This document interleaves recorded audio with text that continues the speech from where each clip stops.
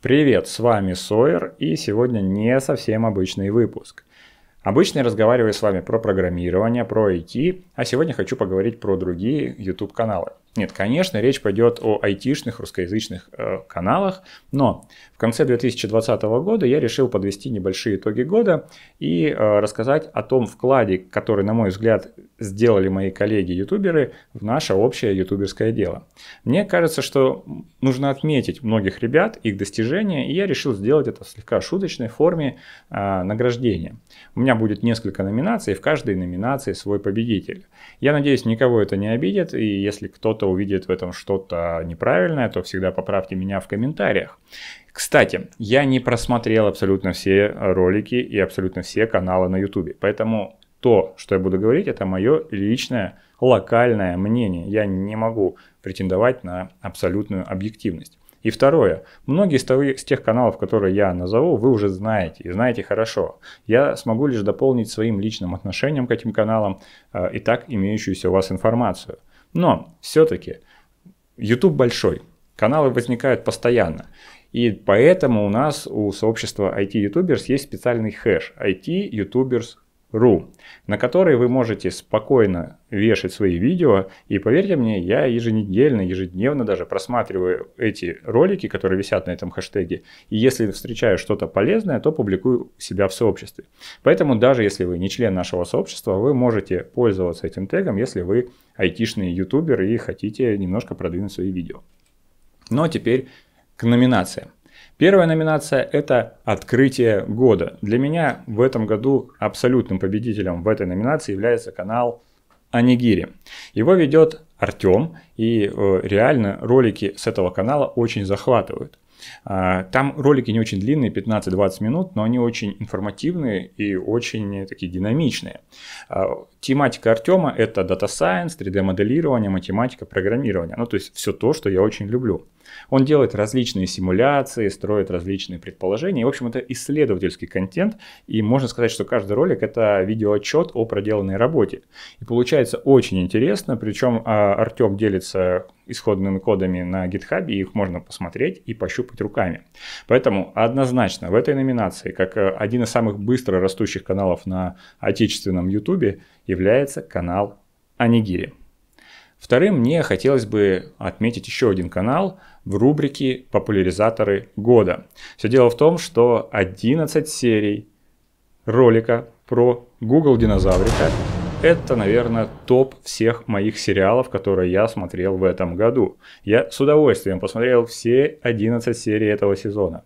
Я переживал этому э, маленькому, но очень юркому герою. Я смотрел, как он становился все лучше и лучше, быстрее и быстрее, как он помогал зарабатывать своему создателю деньги. И, конечно же, я говорю сейчас о канале Howdy Ho. Кто как бы ни относился к контенту развлекательному, он все-таки имеет право на жизнь. Я хочу сказать, что Хауди Хо делает очень важную вещь. Он продвигает и распространяет идеи IT, идеи программирования среди молодежи.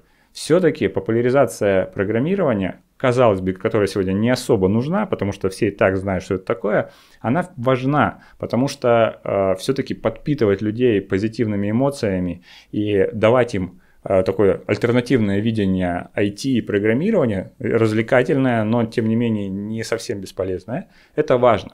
Меня часто спрашивают о моем мнении об этом канале. Отвечаю, Howdy Ho мне очень нравится и как человек, и как ютубер.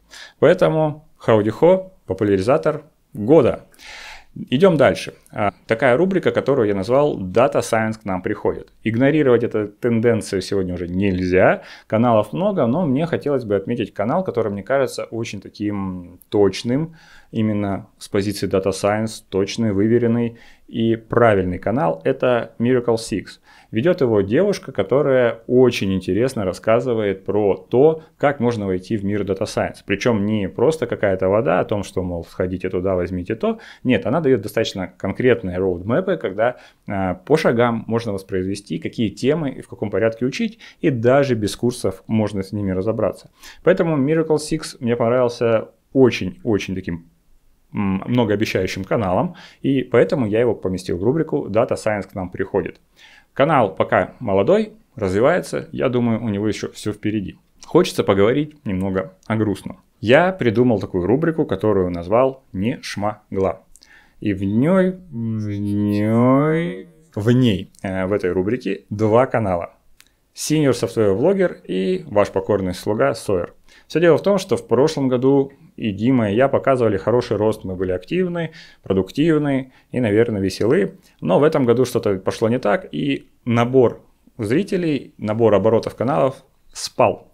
Поэтому мы не достигли 100 тысяч подписчиков, хотя по динамике прошлого года это вполне было реально.